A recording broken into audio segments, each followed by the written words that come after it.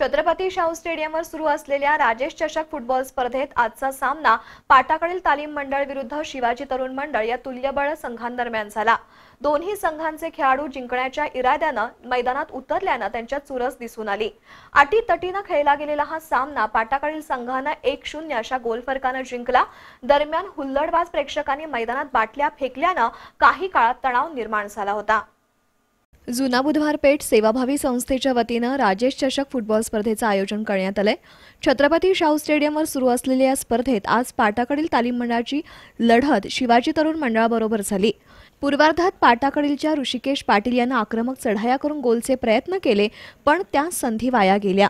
उत्तरार्धात पाटाकडीलच्या जॉन्सन जोशोवो या खेळाडूनं शिवाजीची बचावफेळी भेदत गोलचा केलेला प्रयत्न फोल ठरला. शिवाजी तरुण मंडळाकडूनही काही चढाया वाया गेल्या उत्तरार्धात देखील दोन्ही संघाच्या खेळाडूंकडून उत्तम खेळाचं दर्शन घडलं.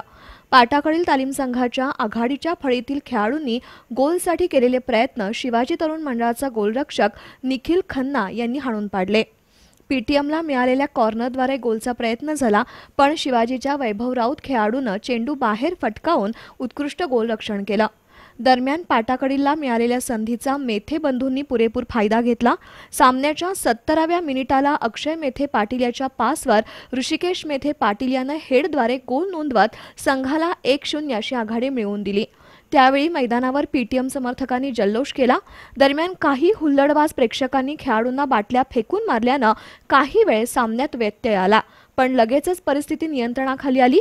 दरम्यान ही आघाडी टिकवत पीटीएमनं सामना जिंकला.